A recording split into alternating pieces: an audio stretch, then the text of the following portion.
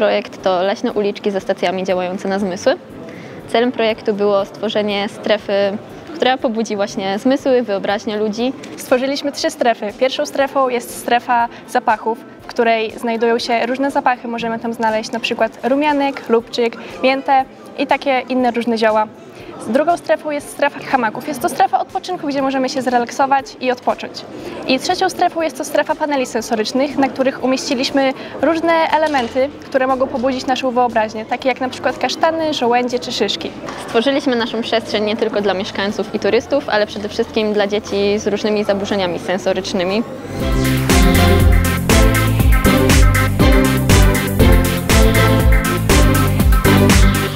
Projekt powstał w wyniku współpracy Politechniki Białostockiej, e, pierwszego liceum ogólnokształcącego w Hajnówce oraz Nadleśnictwa Hajnówka.